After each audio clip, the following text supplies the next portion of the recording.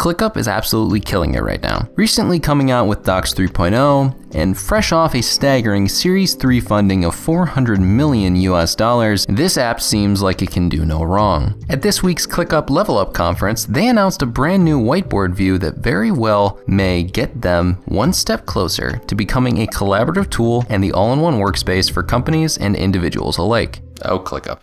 One of these days, you're gonna make me think about switching from Notion to you, and I don't want to admit it, but it's true. It's a pretty good app, we gotta say. What is going on guys? My name is Demetri and welcome back to my YouTube channel. In today's video, we're gonna talk about the ClickUp whiteboard view. But before we dive into that, if you could please hit that like button, subscribe, and hit the notification bell to stay up to date with all of my latest videos, I'd really appreciate it. Let's jump right into what this view is all about. So if we dive right into ClickUp, we can see that there are multiple different views that I have for this example task management action item section. And if we want to make a new whiteboard view, we can press view right here and you'll see at the bottom, one of the page view options is going to be whiteboard. So we can add this view, we can pin it if we want, but if, when we press add, we'll, no case, we'll notice that whiteboards are free for all plans during beta. And this is a time period where everyone's going to have the ability to use it. We'll see whether it's uh, something that's going to stay on the free plan moving forward. But when we go and we look in this, we can see that there is a few different ways we can move around. So first and foremost, it's set to the select version. So if we press V uh, or have it be on this cursor by toggling between these two, we have the select option. Then if we click this or press M, we can move the whiteboard around. Now you won't really see anything because I don't have anything set up, but we have a lot of different options that are going to be utilized here. And if we see there are draw, shapes, notes, text, connectors, bookmark, upload, and tasks. And I'm gonna dive into the basic ones and then do a few of the final ones in a second. But first and foremost, we go draw. We have different color options, different thicknesses there. It's some very basic functionality, but not bad at all. So I can put a plan or something. Obviously, this is not going to be perfect. And it might be better to just use the text option. So that's how you can draw though, very basic stuff. Uh, there's a few colors to choose from and, and some thicknesses and whatnot. Then if we go into the text option, just really quick, you can do plan for videos. I'm not really seeing any major options for this. It's it's pretty basic. It's just literally text. Does not seem like we can expand this. There's no options to, if I right click on this, yeah, nothing happens. It's very basic text stuff right here. So one kind of font, one kind of size. Uh, and then if we go into the shapes here, we can automatically drop a square and put some text in there. Example video here. Uh, we could also do some different ones. There's going to be options for circles, and then uh, there's going to be triangles and, and whatnot. So I think what's nice to point out is the fact that you can change the size of these, and that's good. Unlike with the text, you can't really can't really seem to do that. And you can do that also with your drawings. I could do this, and then I could also delete various components of the drawing.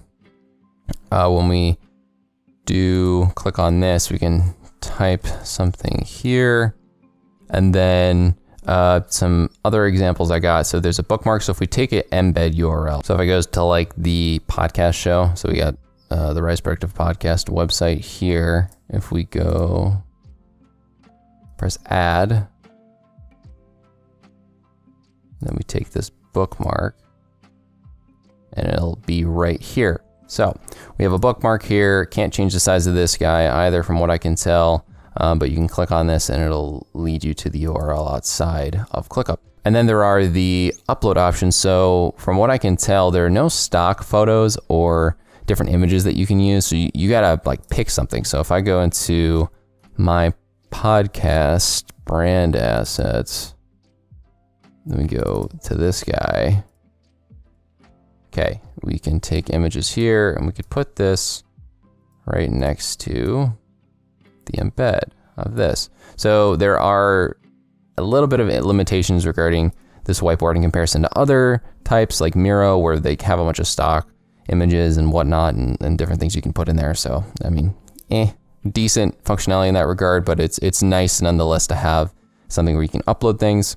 And then if we move on to the next part, which is probably one of the bigger ones, it's the fact that we have uh, tasks. So if I press design new logos here, uh, once again, it, it does have the issue of, oh, sorry, I clicked into this. So you can obviously click into the tasks here, but if I exit out of it, uh, as you can see, it you can expand by clicking into that. You can expand by clicking on it. You can see where it's lying under, what space it's in, what uh, different task views it's under, uh, whether it's uh, complete or not. You can check that off. So I can take these tasks and drag them, but if I click on them and, and don't drag them, it'll just give you the option to double click and go into the task.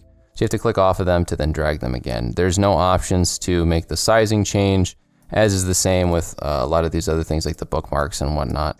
So we have a fair amount of functionality here, and I like the fact that you can take some of these tasks and put them in there. So for example, say you want to take, let me do the select tool. Let's take this, uh, and we want to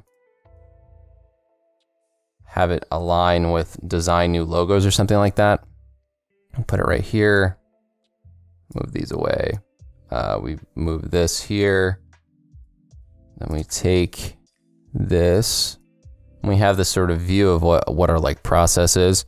So then what's interesting is there's something called connectors. So I'm gonna spread these out a little bit more. Okay, so if we take connectors here, we're theoretically able to connect these together, but they're a little finicky from what I've been seeing on the interwebs. So we have to do a little different kind of thing than what makes sense. So if we take this guy, this is the same symbol as like ClickUp's relations and, and rollups or whatever, but it's not gonna show this symbol. So we have to do it without it showing the symbol, which I don't really like, but it's nice to have them in general. So then when we press on this, we can change the color of these, change the thickness, uh, we have the ability to change it to a squiggly line, or I guess just a curved line, and then a, a normal straight line. And then these things connect uh, the different steps of the process. You can kind of visualize what's going on here. Like, okay, so design, uh, this is like our website, design new logos. Obviously, there's better examples for this, but I just wanted to show the functionality. And now you see that it it's impressive that it has this functionality in general. Notion doesn't have this. It's moving in the right direction. It's got a lot of nice things. And if this improves, since it's just in beta, I could see this being a pretty solid application uh, for for work use. I mean, Microsoft just had their Uh, improvements on their whiteboard, and this could be something that says, "Hey, Microsoft, sorry, but our stuff's pretty great too." I hope you guys enjoyed this video on the new ClickUp whiteboard. If you want to see any more of my videos, on different productivity apps and ClickUp, please make sure to hit the end screens. And without further ado, I'm going to end this video and say goodbye because it was a good video and we're done. We're done with the thing.